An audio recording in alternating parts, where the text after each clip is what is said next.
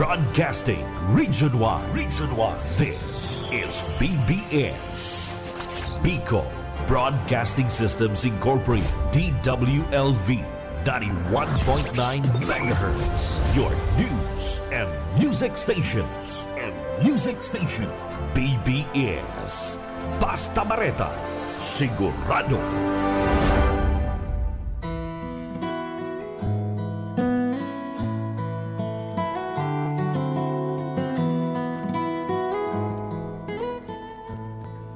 Magandang umaga po, Bicolandia. Magandang umaga po sa probinsya ng Camarines At magandang umaga po dito sa lungsod ng Naga. Magandang magandang umaga po sa lahat po ng uh, inaabot ng istasyong ito. Ako po ang inyong lingkod, Pastor Luis Bulaño, sa ngalan po ng Alliance of Ministries of Metro Naga Incorporated or AMNI sa loob po ng ilang minuto, sabi po ngayon ang ating oras ay alas 4.40 uh, 40 na po. Kaya po ilang minuto na lamang ay uh, ang ating pagsasama-samang pakikinig o pag-aaral ng aral ng Diyos. Kaya po hindi na ako magsasayang ng oras.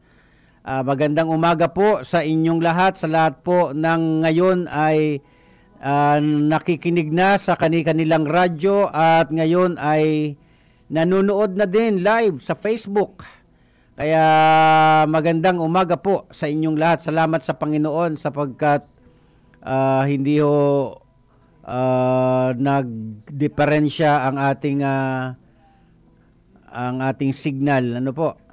Okay, magandang umaga po kay Ma'am Lourdes Garrido. Magandang umaga po sa lahat po ng mga uh, magre-replay pa nito.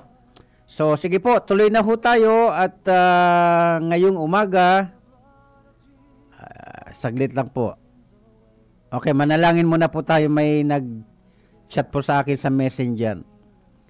Panginoon namin Diyos, salamat po sa pagkakataong ito na muli po kaming makapag-aaral ng iyong banal na salita. Hayaan po ninyo na maliwanagan ang aming mga puso't isipan, sa pamamagitan ng iyong mga aral na aming mapapakinggan ngayong umaga. Salamat po sa pangalan ng Panginoon Kristo. Amen. Uh, magandang umaga po, Pastor Lowy.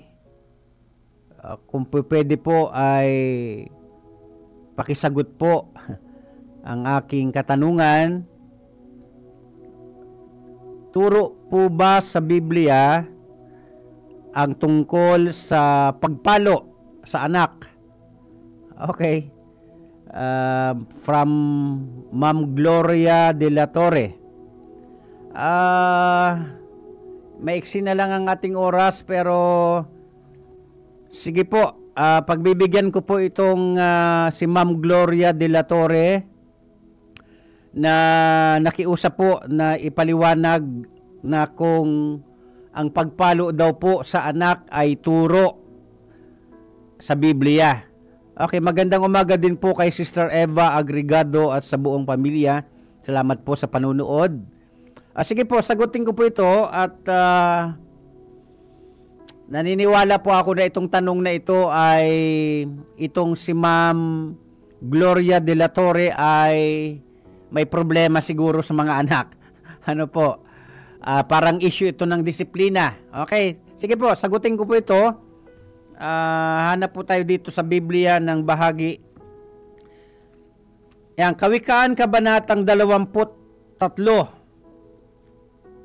Ang talata po ay 13 at 14. Pakinggan po ninyo ang aking babasahin kay Ma'am Gloria de la Torre. At tagalogin ko na lamang po ano sapagkat maiksi ang ating oras para ulitin ko uli sa Tagalog. Tagalogin ko na diretso. Ano po, ang sabi po dito, huwag kang mag pagpapabaya sa pagdisisip, pagdidisiplina sa iyong anak. Ang tamang pagpalo ay hindi niya ikamamatay, kundi makapagliligpas pa sa kanya sa kamatayan. Yan po ang nasusulat dito po sa Kawikaan, Kabanatang 23, talatang 13 at talatang 14. Magandang umaga po kay Sir Luis R. Sanosi Jr. Uulitin ko po, hindi po ito ang aking paksa, pero dahil po kay Ma'am Gloria de la Torre, nagtatanong po siya tungkol sa pagpalo, kung ito po ba ay turo sa Biblia. Magandang umaga din po kay Ma'am Claire Dacuya Ricafort. Magandang salamat po sa panunood. Opo, yan po ang sagot ko. Opo, nasa Biblia ang tungkol sa pagdisiplina o pagpalo sa mga anak. Depende po sa edad, ano po. Pero kung hindi naman kailangan dapat ng paluin, huwag mong papaluin. Pero actually, ang tinutukoy po kasi dito na rad sa English translation, hindi lamang ito pumapatungkol sa literal na pamalo. Ano, bagaman may literal na pamalo na kapag makulit ang bata o hindi sumusunod sa magulang, yung mga bata pa, ay pinapalo ng anak. Kaya ang sagot ko po dyan, Ma'am Gloria de la Torre, ay uh, opo, turo at aral ng Diyos ang tungkol sa pagpalo. Sabi nga po dito, huwag kang magpapabaya sa pagdisiplina. Yan. Bakit po? Kasi may mga magulang na hindi yung nagdidisiplina sa anak. Pero ayon po sa banal na kasulatan, huwag magpapabaya sa pagdisiplina So tatalakayin ko po sa inyo ayon sa tanong ni Ma'am Gloria ay uh, bakit hindi kailangan magpabaya? Bakit kailangan huwag ipagpaliban sabi po sa ibang Tagalog? Sabi nga po sa English translation, withhold, withhold the rod. Yan. Huwag nating i-withhold. Sa madaling sabi, sabi dito sa kababasa ko lamang, ito'y alang-alang sa instant na tanong ni Ma'am Gloria na kailangan kong pagbigyan ano po? Opo, turo sa Biblia ang pagdisiplina. Katunayan ayon dito sa kababasa natin, huwag magpapabaya sa pagdidisiplina. O, bakit hindi dapat magpabaya? Kasi nga po, pagka ang magulang hindi nagdidisiplina sa anak, ikakapahamak po ito ng anak. Ang tanong, bakit hindi kailangan magpabaya? So, sa sabi sa patnubay ng Panginoon sa akin ngayon, at titingnan kung ilang kakayanin ko. Una, dapat nating maintindihan na ang aral na ito ay aral ng Diyos. Kaya kailangan itong isakatuparan ng mga magulang. Actually, mga mahal ko mga tagapakinig, ang dapat na nagdidisiplina sa loob ng pamilya, tatay. Ano, yung pagdidisiplina ng ama, fina-follow up lang ng nanay. Yun po ang pagkakamali ng marami sa totoo lang, ipinagkatiwala sa balikat ng mga ama ng tahanan ang pagdisiplina sa mga anak.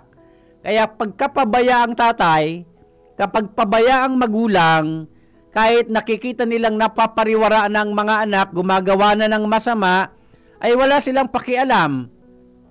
Kaya nga sabi po rito, huwag magpapabaya sa pagdisiplina sa mga anak. Magandang umaga po kay Pastora Marilu Luces Martilino.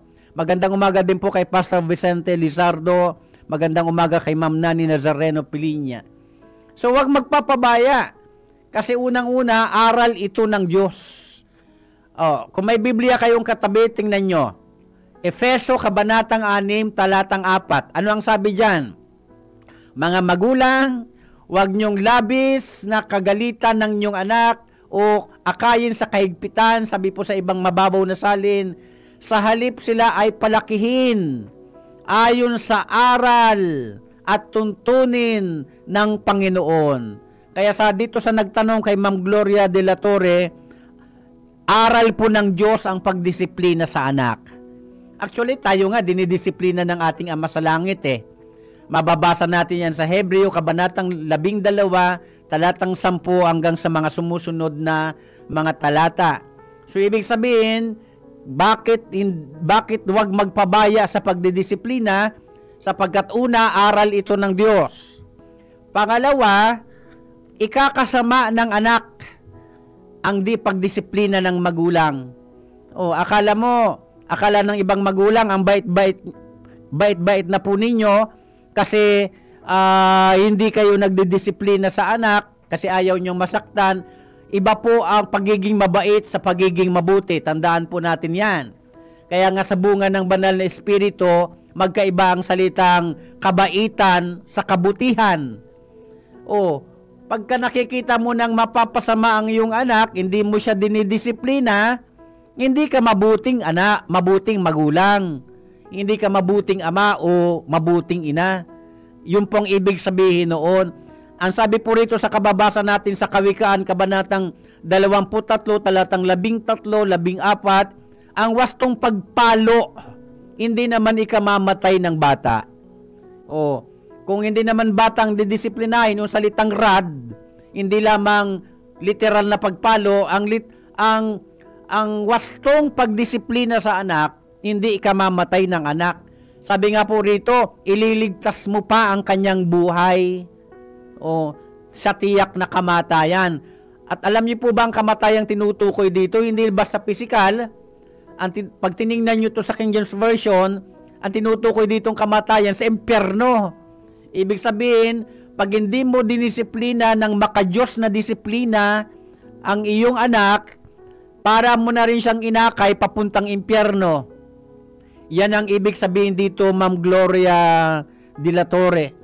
No, kaya sa mga magulang na nakikinig ngayon, siguro po ay makakarelate kayo sa tanong ni Ma'am Gloria de la Torre na kung nasa Biblia daw po ang pagpalo o pagdisiplina. Yes po, yes na yes.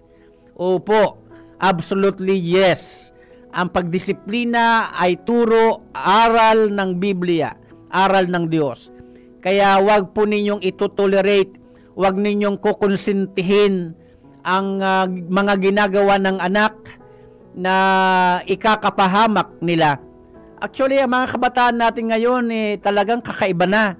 At hindi naman nakapagtataka sapagkat ayon sa pangalawang Timoteo, Kabanatang 3, talatang 2, kung may Biblia kayo, pwede ninyong basahin. Ang sabi diyan, sa mga huling araw, isa po na nabanggit diyan, ang mga kabataan o ang mga anak ay magiging suwail sa mga magulang.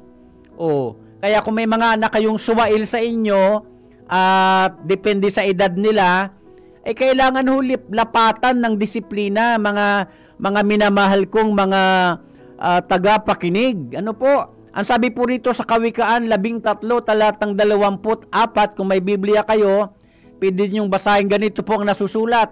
Map- ang mapagmahal na magulang, anak ay dinidisiplina. Ang anak na di napapalo, hindi mahal ng magulang. Imagine, oh, ang mga anak pala na hindi napapalo ng magulang, hindi mahal ng magulang. Kasi kung mahal mo ang anak mo, didisiplinahin mo, Ma'am Gloria, kung yan po ang problema mo talaga.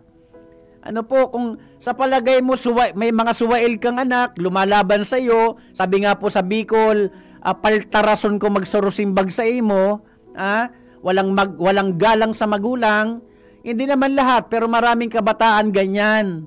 Ano, walang respeto sa magulang.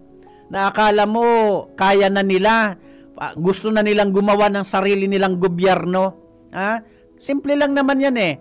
Pag ang mga anak gustong gumawa ng sarili nilang gobyerno, mas mabuti nga palayain sila at gumawa sila ng sarili nilang gobyerno ng kanilang mapag-isip-isip na napakahirap na walang magulang. Oh, kung may mga kabatang makakapakinig nito, pag-isipan niyo itong mabuti. Ah, katunayan, sabi po sa ibang bahagi ng banal na kasulatan, ah, ah, kahihiyan ng magulang ang magkaroon ng anak na uh, hindi mapagmahal sa magulang. O kaya kay Ma'am Gloria de la Torre dito po sa inyong tanong, opo, nasa Biblia. Kaya wag po kayong magdalawang isip na kung kailangan pangaralan ng inyong anak sa ikabubuti nila. Alam alam niyo naman eh, ang mga mapagmahal na magulang nagdidisiplina talaga sa anak.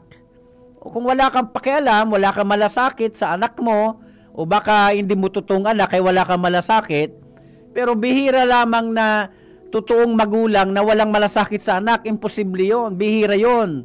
Bagaman nakakabalita tayo ng mga magulang na walang pakialam sa kanilang mga anak kasi irresponsable silang magulang, bihira lamang yon. Pero karamihan mapagmahal na magulang. At dahil mapagmahal kang magulang, ayon sa Biblia, nakababasa lang ho natin, kailangan hong disiplinahin ang mga anak. Okay? Huwag natin silang turuang lapastanganin ang magulang. Ah, mga anak, ah, pag-isipan nyo itong mabuti sa mga kabatahang makakapakinig nito, huwag nyong lapastanganin ang inyong mga magulang. O, sa mga magulang naman, ah, ayon dito kay Ma'am Gloria de la Torre na nagtatanong, ah, huwag po kayong magdalawang isip, disiplinahin nyo ang inyong anak kung mabuti kayong mag- magulang. Kasi para din to sa kanya eh. Ma, yan ang hindi naiisip ng mga anak eh. Balang araw, yung katigasan ng ulo, pag ikaw may sarili na ring pamilya, aanihin mo yung mga pinaggagawa mo sa magulang mo. Oh, kaya sana po nasagot ko ang inyong tanong, Mang Ma'am Gloria de la Torre. Ayun, may pahabol pa. Ok- okay po. Ito po ang ito po ang message ni Ma'am Gloria de la Torre. Ah, pwede po isa na lang. Ayon ba sa Biblia ang paghihiwalay ng mag-asawa? Ayun. Okay po, pilang minuto na lang tira sa akin. Ah, sikapin ko po ha. Ayon, may, ayon kay Ma'am Gloria de la Torre, turo ba sa Biblia ang tungkol sa paghihiwalay ng mag-asawa? Natatandaan ko po ngayon kung kayo po ay updated sa mga balita sa 17th Congress, ah, pinag-usapan po ang House Bill 9349, kung di ako nagkakamali. House Bill 9349 tungkol sa diborsyo, tungkol sa divorce. At nakakalungkot, ah, ilang panahon na lang ito ay magiging ganap ng batas. Ano po ang tungkol sa paghihiwalay? Alam nyo, hindi to ayon sa Biblia. Ma, kay Ma'am Gloria de la Torre, ang tanong mo, ayon ba sa Biblia ang paghiwalay? No po, hindi po. Katunayan, sabi po sa kung may Biblia kayong katabi, tingnan ho ninyo ang Mateo Kabanatang 11, talatang 6, sinasabi po ng talatang yan na ang pinagsama ng Diyos ay huwag papaghiwalayin ng tao. Oh, and actually, Ma'am Gloria de la Torre, the first institu- institution instituted by God was marriage. Yan po talaga ang unang institusyon na itinatag ng Diyos ang pags- pagsasama o pag-aasawa ng babae at lalaki. Again po, lalaki at babae. Okay? Kaya hindi po Ma'am Gloria de la Torre ayon sa Biblia ang turo tungkol sa paghihiwalay. Actually ayaw ng Diyos na paghihiwalay. Alam nyo itong batas na ito, ikinalulungkot po nating sabihin, pag ito ganap nang naisabatas sa ating bansa, ito ay sasamantalahin ng mga irresponsabling mga lalaki o babae. Dahil makikipaghiwalay sila sa kanilang asawa at ang pakikisama nila yung kanilang mga hindi totoong asawa. At hindi po naiisip sa batas na ito na ito ay ang maapektuhan ng labis dito mga bata, mga anak. Ang paghihiwalay ng magulang labis na makakaapekto sa mga anak. Sana naisip po yan. Ano? Kaya kay Ma'am Gloria de la Torre, prangkahan ko pong sinasabi sa iyo, hindi po turo ng Diyos ang paghihiwalay. Actually sa Mateo Kabanatang 11, talatang 4 hanggang 6, kung basahin po ninyo, ah, nagpapaalala po ang Panginoong Kristo tungkol sa pag-aasawa. Ah, at kung paano at kung ano ang gusto ng Diyos sa pag-aasawa. Oh, ngayon kung sakali man ito ay ah, samantalahin ng mga irresponsabling lalaki o babae, ay siguro, alam nyo, malawak na usapin ito, Ma'am Gloria de la Torre, pero at least nasagot ko ng bahagya ang inyong tanong, hindi po ayon sa Biblia ang paghihiwalay. Okay po? Kaya sana sa, sa mga mag-asawang nakikinig sa akin ngayon, kahit hindi man kayo perpekto, wala naman perpektong mag-asawa, wala naman perpektong marriage, ano? Pero wag po sanang umantong sa paghihiwalay.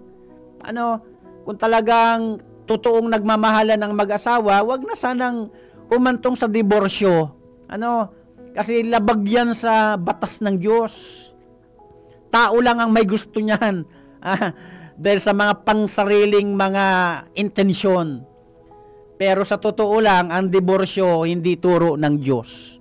Yan ang sagot ko sa iyo, Ma'am Gloria de la Torre. Ano?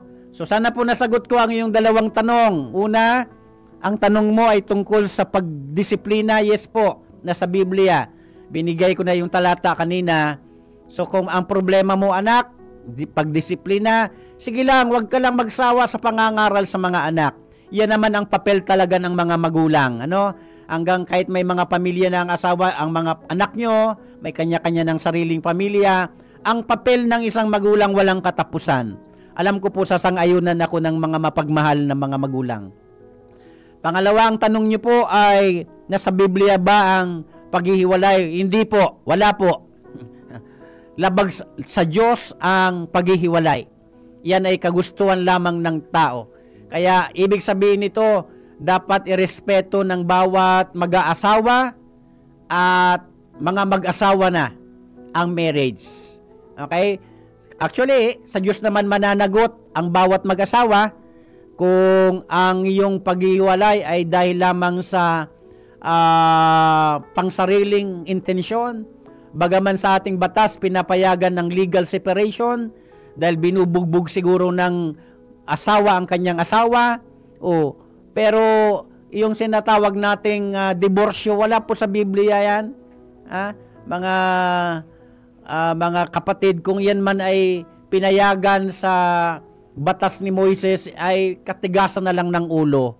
O kung i-relate natin, relevant sa ating panahon, pero gusto kong sagutin itong tanong na ito, Ma'am Gloria de la Torre, wala po sa Biblia. Kaya sa mga mag-asawa, ipanalangin natin na kahit hindi tayo perpekto, kung totoo naman talaga tayong nagmamahalan, walang dahilan para magiwalay. Manalangin po tayo.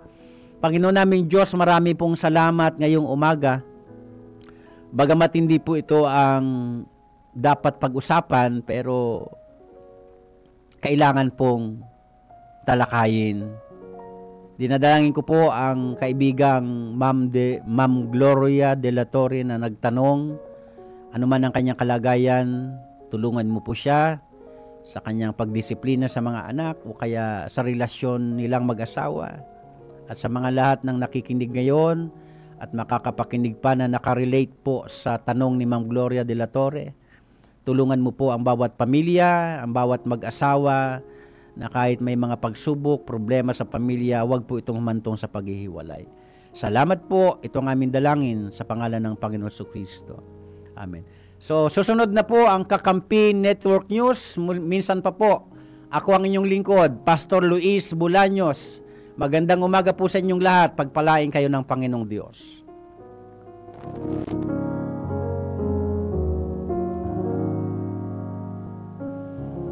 PBS